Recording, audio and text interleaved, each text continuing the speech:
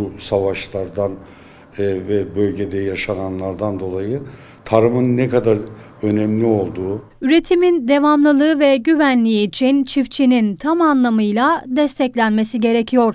Çiftçi girdi maliyetlerine rağmen üretmek istiyor ama her geçen gün omzundaki yük artıyor.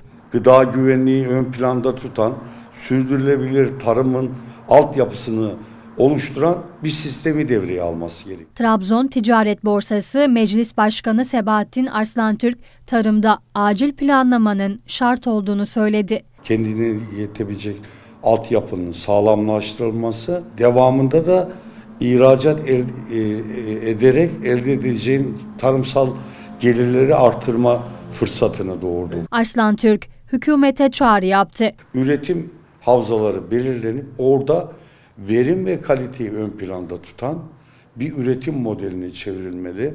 Arazi parçalamaların önüne gidilmeli. Verimi ön planda tutan bir tarım organizasyonuna gidilmeli. Destekleme modelleri de gözden geçirilmeli tamamen. Üretimin artması için çiftçinin tam anlamıyla desteklenmesi gerekiyor. destekleme modelinde bütün e, organizasyonu o gıdanın sağlanması adına adımlarla yapılması gerektiği de ortada.